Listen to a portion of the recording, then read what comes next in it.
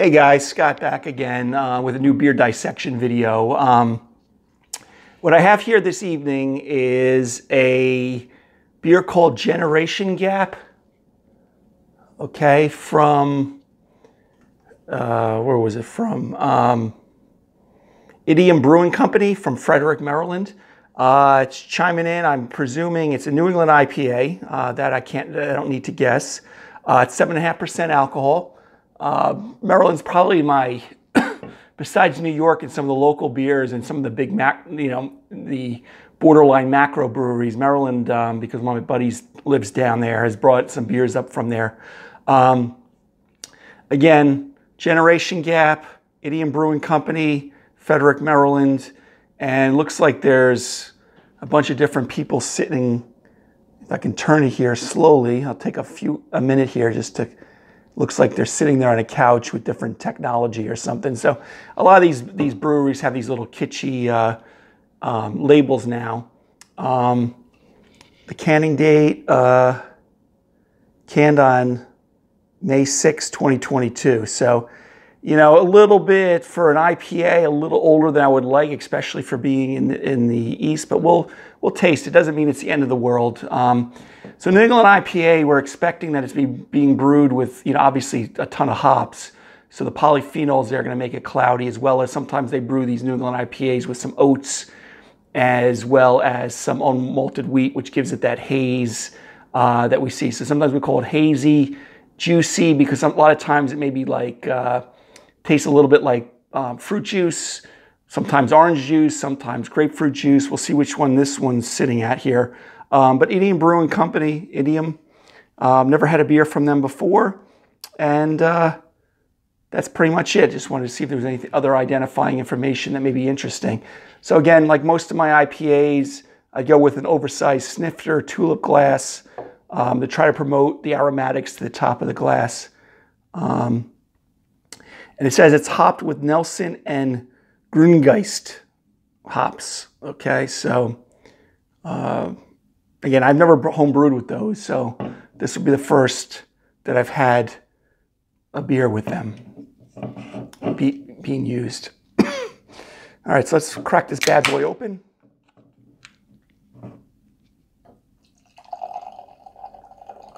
So remember, with New England IPA, if you've watched more than a few of my videos, um, compared to West Coast IPA, a lot of times we're going to get, there's going to be very strong flavor and aroma hops, or there should be, um, but the bitterness hops are, um, you know, at the beginning of the boil are reduced. So the IBU units, international bitterness units, are usually lower.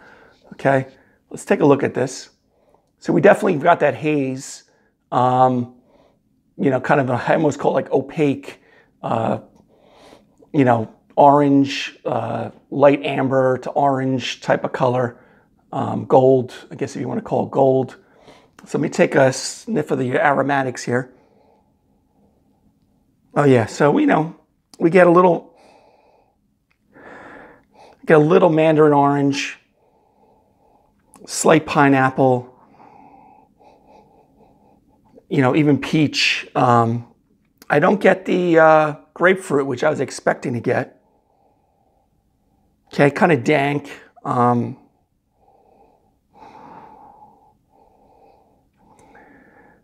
but very nice. I mean, very pleasant uh, aroma.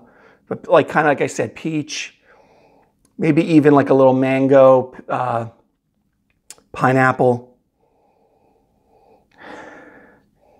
But again, not you know not much head. I, I would have liked to see a little bit more head retention there. I've only had it open for you know, what, two minutes, three minutes? But it smells good.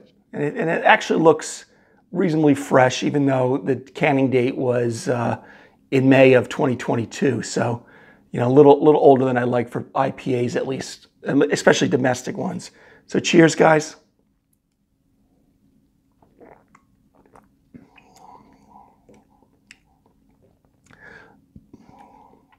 Pretty high car carbonation, medium to high carbonation for the style. Um,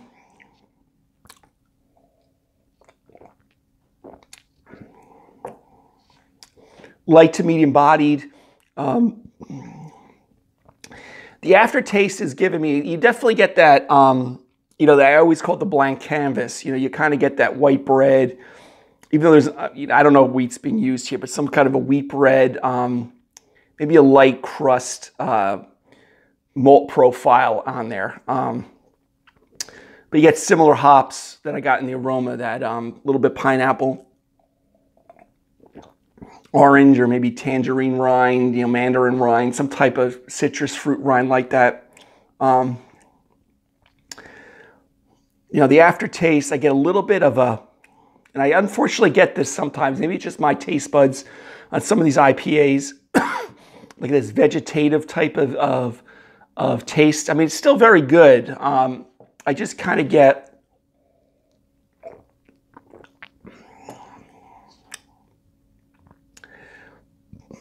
this kind of old lettuce type of uh, uh, uh, flavor to it, which I know it sounds a lot worse than it really is.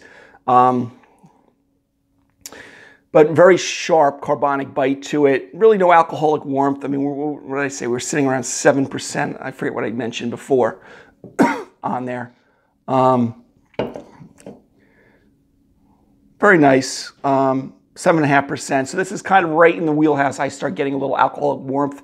Um, as I sit here, in the aftertaste, you kind of get a little bit of that, um, you know, thickness that you get. I mean, that's a tough adjective there. Um, but that car the carbonic bite is pretty strong up front, um, which I don't particularly like too much, but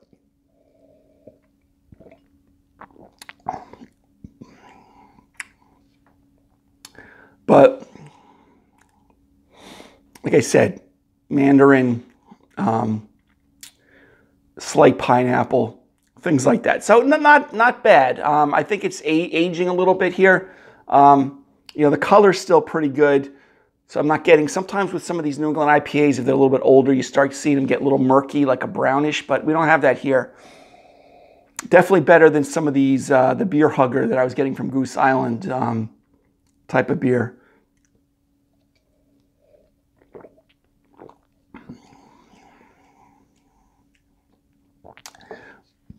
But definitely something the aftertaste that's uh, giving me that vegetative type of uh, taste, maybe from the older hops. Um, which again, it's not undrinkable. It's just I get that with some some of these New England IPAs. Um, the bitterness, some moderate to pronounced bitterness. Uh, New England IPA, you know, we definitely don't want it as you know, I should say for style it, you know, we don't usually look for it to be pronounced or assertive um, like you maybe get with some of your uh, West Coast IPAs. Um, but you know, like I said, on the nose, it's very nice. Um, you know, if I was going to give it a grade, you know, good B, B plus. I mean, it, it, it's it's it's enjoyable. It's just, um, I know sometimes that upfront carbonic bite and if it wasn't giving me that vegetative taste in the end, it could be one of the hops. Like I'm not familiar with the two hops. I don't recall, either unbeknownst to me, that I've had beer with those two tops on there. Um, Nelson and Grungeist, I've never homebrewed with those two. that may be just a familiar flavor that I may not particularly like. So again, like I said, you know, that B, B plus range, um, typical pairings, um, you've heard me say a lot with IPAs because I, I think of fruit, um, you know, pineapple, salsa, things like that. A lot of Mexican, Spanish food, tacos, um, shrimp tacos, things like that. I would go with fish, uh, mahi tacos, or just some white fish, maybe uh, uh, uh cod you know, lightly battered cod dishes, things like that. Nothing with too much Maillard or um, caramelization. I would I wouldn't pair so much with this. Um, so again, guys, let me just pour a little bit more before I let you guys go. Um, but again, you kind of got this, you know, light gold, medium gold color, you know, kind of an opaque, cloudy, hazy um, juicy IPA, which is kind of what New England IPA synonymously is called. You know, maybe even add a little white grape in there that we get. But, you know, kind of that, you know, pineapple, really no mango, no grapefruit. Um, but actually, as I as I'm taking it in, and when I do a little bit longer sniffs, I get a little more pineapple. But again, classic um, New England IPA here. Um, very good. I mean, you know, even though I'm not giving it an A range, it, it, you know, it's definitely enjoyable if you have this down and you're in the um, Frederick, Maryland area. um, Idiom Brewing Company. Uh, again, this is the first beer I've ever had from them. New England IPA, 7.5%. Like I said, Nelson Grüngeist hops. Um, and it's called Generational Gap New England IPA. Um, so again, something I would I would definitely try other beers from them. Compared compared to the Goose Island um, Beer Hug IPA pack um, variety 12 pack that I got, this is a lot better than that. Um,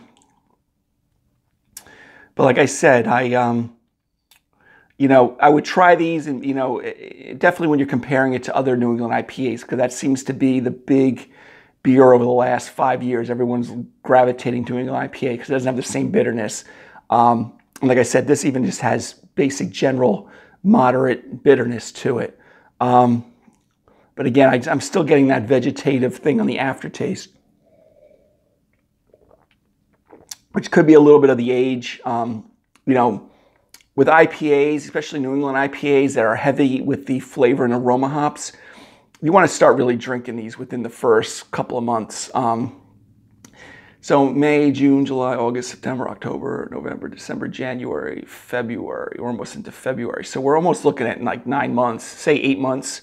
Um, so a little bit more age. So, I mean, I don't get classic oxidative flavors, um, you know, like papery, and I don't, I don't taste any uh, malt shift or anything with this. The color's still pretty good. It's still kind of got that you know, light gold colored. I don't see any type of. Uh... and again, the aroma I think is a lot better than than the flavor of the hops here. But you know, pretty standard baseline malt profile. Again, this is going to be a hop dominant beer, so you know we're not looking for you know malt dominant flavors. Um, so in that, guys, you know, roughly B range beer. Um, I definitely wouldn't turn it away. Um, solid, New England IPA. There are better ones out there, but definitely better than some of the the, the pseudo macro uh, beers uh, companies that I've gotten recently. All right, guys, have a great one. Take care. Have a good night.